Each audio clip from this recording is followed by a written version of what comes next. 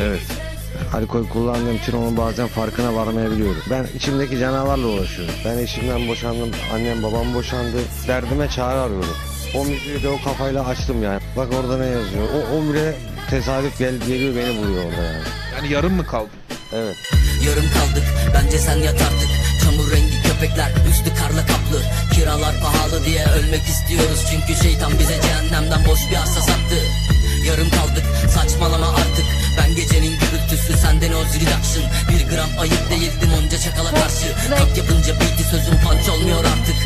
Yarım kalsın gözlerin kararsın. Sen de gitmek istiyorsan tilkiler utansın. Bak ne hale geldik bilmeseydik keşke. Keşke çocuklar ölmese elinde keleşle Yarım kaldık sen de anla artık. Boş bir kalbele sığdırdık midemde hep ağrı.